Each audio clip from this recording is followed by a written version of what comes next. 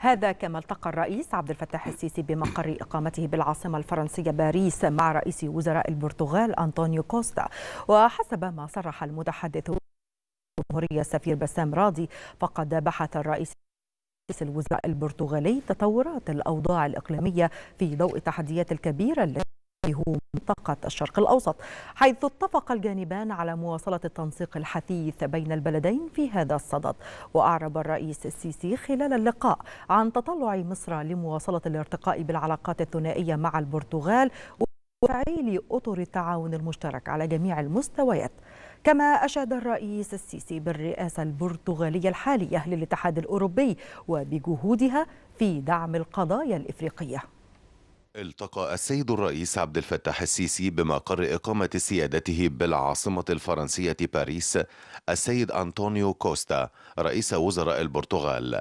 المتحدث الرسمي باسم رئاسة الجمهورية صرح بأن السيد الرئيس أعرب عن تطلع مصر لمواصلة الارتقاء بالعلاقات الثنائية مع البرتغال وتفعيل أطر التعاون المشترك على جميع المستويات.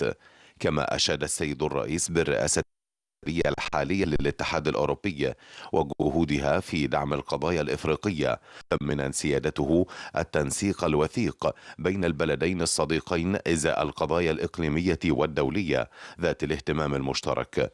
ومؤكدا في هذا الإطار أهمية استمرار وتعزيز آليات التشاور المنتظم والدوري بين البلدين.